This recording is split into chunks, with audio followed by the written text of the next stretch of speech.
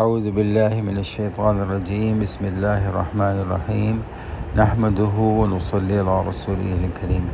مرحلۃ السادسہ کا یہ ایک اور مائل سٹون ہے، لیکن ٹوٹ کے یہ مختلف حصوں میں بکھر گیا۔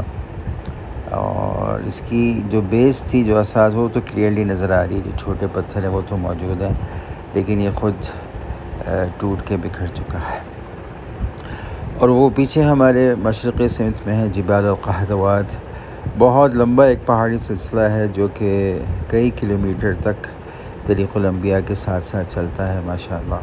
اور عجیب نورانیت ہے، عجیب فضا ہے، عجیب کیفیت ہے۔ حالانکہ ہم تو یہاں اکیلے ہیں اس وقت۔ بالکل ویرانگی ہے، لیکن ماشاءاللہ طریق الانبیاء پر نورانیت بہت زیادہ ہے۔ اور اتنی رونق ہوتی ہے، جب بھی ہم آتے ہیں، دل کے اندر سکون اترتا ہے، عجیب کیفیت بنتی ہے دل کے اندر، الحمدللہ۔